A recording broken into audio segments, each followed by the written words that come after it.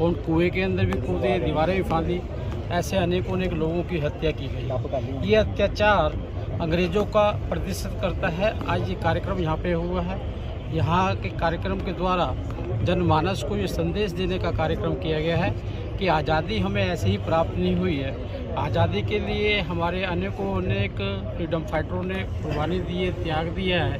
ये इतिहास का पन्ना नहीं है ये यादगार लम्हे हैं जिनको याद कर कर आने वाले समय के अंदर देश को बचाने के लिए और भी लोग आकर्षित होंगे।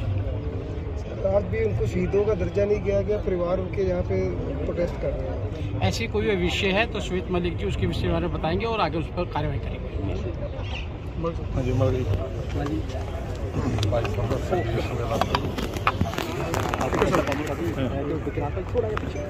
ਅੱਜ ਜਿਹੜਾ ਜਲਿਆਂਵਾਲਾ ਬਾਗ ਸ਼ਹੀਦਾਂ ਦੀ ਪੁੰਨ ਪਾਵਨ ਸਥਲੀ ਜਿੱਥੇ ਉਹਨਾਂ ਦੀਆਂ ਪਵਿੱਤਰ ਆਤਮਾਵਾਂ ਵਿਸ਼ਰਾਮ ਕਰ ਰਹੀਆਂ ਨੇ, ਉੱਥੇ 13 ਅਪ੍ਰੈਲ 1919 ਨੂੰ ਜੋ ਭੀਸ਼ਣ ਹੱਤਿਆਕਾਂਡ ਹੋਇਆ ਨਿਆਂ ਹੋਇਆ ਰੌਲਟ ਐਕਟ ਦੇ ਖਿਲਾਫ ਔਰ ਸੈਫੂਦੀਨ ਕੁਚਲੂ ਜੀ ਔਰ ਸਤਪਾਲ ਜੀ ਦੀ ਗ੍ਰਿਫਤਾਰੀ ਦੇ ਖਿਲਾਫ ਕੁਝ નિર્ਦੋਸ਼ ਲੋਕ ਬੈਠਕ ਕਰ ਰਹੇ ਸੀ। ਔਰ ਜ਼ਿਆਦਾਤਰ ਲੋਕ ਉਹ ਸੀ ਜਿਹੜੇ ਆਪਣੇ ਬੱਚਿਆਂ ਨਾਲ ਪਰਿਵਾਰਾਂ ਨਾਲ ਵਿਸਾਖੀ ਮਨਾ ਰਹੇ ਸੀ। ਉਸ ਸਮੇਂ ਸ਼ਾਮ ਨੂੰ ਜਨਰਲ ਡਾਇਰ ਆਇਆ ਔਰ ਉਸ ਹਤਿਆਰੇ ਡਾਇਰ ਨੇ ਫਾਇਰ ਫਾਇਰ ਫਾਇਰ ਕਰਕੇ ਸੈਂਕੜੋ ਲੋਕ ਸ਼ਹੀਦ ਕਰਤੇ। ਖੂਨੀ ਕੂਆ ਭਰ ਗਿਆ 120 ਅਹ, ਜਿਹੜੀਆਂ ਡੈਡ ਬਾਡੀ ਸੀਗੀਆਂ ਸ਼ਹੀਦ ਹੋ ਗਏ ਲੋਕ ਉਹਦੇ ਚੋਂ ਪ੍ਰਾਪਤ ਹੋਈਆਂ। ਕੋਈ ਦੀਵਾਰ ਤੇ ਖੜਾ ਸ਼ਹੀਦ ਹੋ ਗਿਆ ਕੋਈ ਬਾਗ ਵਿੱਚ ਬੈਠਾ ਸ਼ਹੀਦ ਹੋ ਗਿਆ। ਸੈਂਕੜੋ ਲੋਕ ਆਪਣੀ ਜਾਨ ਗਵਾ ਬੈਠੇ ਔਰ ਉਹਨਾਂ ਦਾ ਕੋਈ ਦੋਸ਼ ਨਹੀਂ ਸੀ।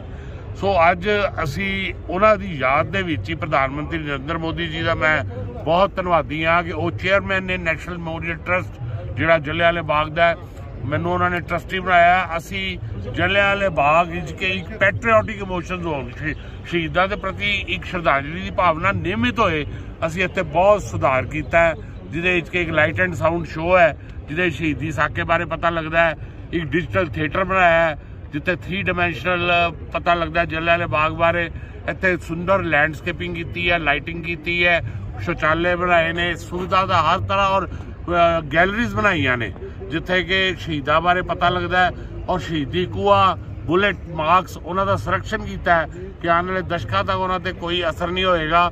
ਔਰ ਉਸ ਤੋਂ ਬਾਅਦ ਇੱਥੇ ਆਉਣ ਵਾਲੇ ਸ਼ਰਧਾ, ਇੱਕ ਸਮੇਂ ਵੀ ਵਧਾਤਾ, ਹੁਣ ਸ਼ਾਮ ਨੂੰ ਇਹ ਲੇਟ ਬੰਦ ਹੁੰਦਾ ਹੈ।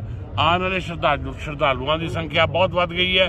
ਮੈਂ ਬਹੁਤ ਸੁਭਾਗਸ਼ਾਲੀ ਹਾਂ ਕਿ ਸ਼ਹੀਦ ਸਥਲ ਦੀ ਸੇਵਾ ਜਿਹੜੀ ਹੈ ਪ੍ਰਧਾਨ ਮੰਤਰੀ ਨਰਿੰਦਰ ਮੋਦੀ ਜੀ ਨੇ ਮੈਨੂੰ ਸੌਂਪੀ। ਪਰ ਮਲਿਕ ਸਾਹਿਬ, ਹਜੇ ਤੱਕ ਸ਼ਹੀਦਾਂ ਦਰਜਾ ਦਿੱਤਾ ਗਿਆ, ਫਿਰ